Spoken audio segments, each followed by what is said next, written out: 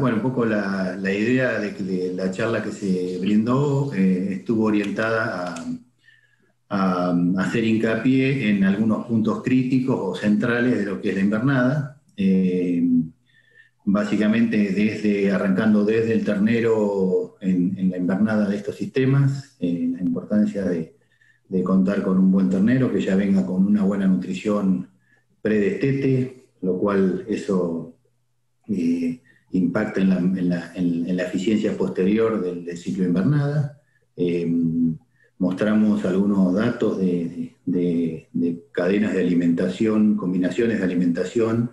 para este tipo de sistemas mixtos, en donde hay recursos de la agricultura y recursos pastoriles, eh, para una invernada, básicamente apuntando una invernada de,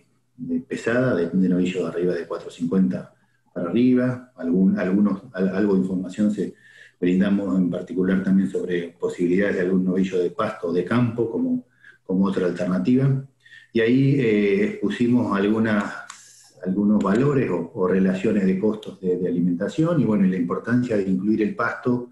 en estos, en estos sobre todo en estas coyunturas donde el, donde el, el, costo de los concentrados, eh, los granos, eh, etcétera, son, son con una relación bastante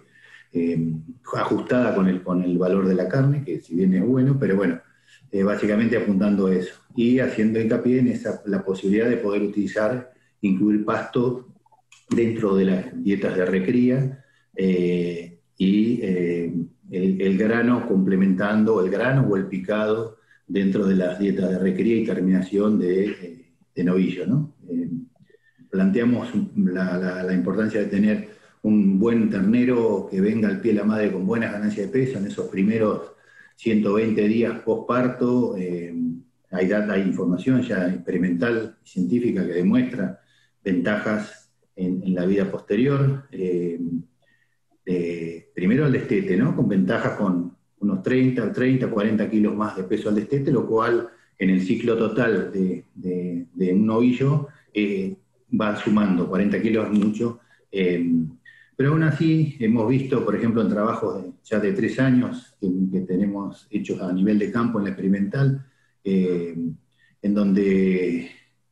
aún no habiendo diferencias de peso en el ternero eh, recién destetado, después en la invernada posterior, los que vinieron con mejor condición, más desarrollo, eh, sí tienen ventajas en, todo el periodo de invernada y, y, lo mantienen hacia el final, digamos, lo cual eso es es un, punto interesante a remarcar, eh,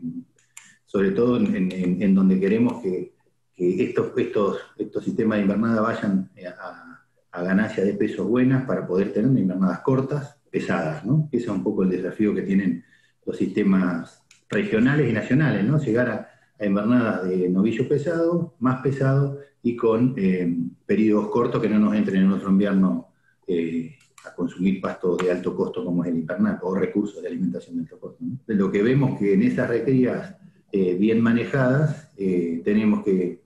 tenemos mejor desarrollo muscular, vos mencionaste, un, queremos un novillo que tenga músculo, no un novillo que tenga hueso, eh, que tenga carne, y bueno, nos da consistentemente en los tres años diferencias de área de ojo de bife, que por ejemplo es una, una expresión de muscularidad de alguna forma, eh, el corte más caro sería, ¿no? Que el, bife de chorizo,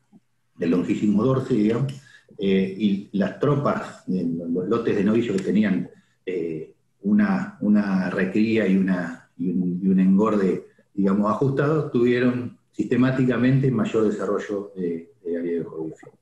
Tuvieron mayor proporción de animales con engrasamientos superiores y una grasa de cobertura mejor. Entonces, bueno, son cosas, no son grandes novedades, pero son números concretos de un número interesante de animales que permiten, digamos, de alguna forma ponerle eh, rigurosidad a estos valores.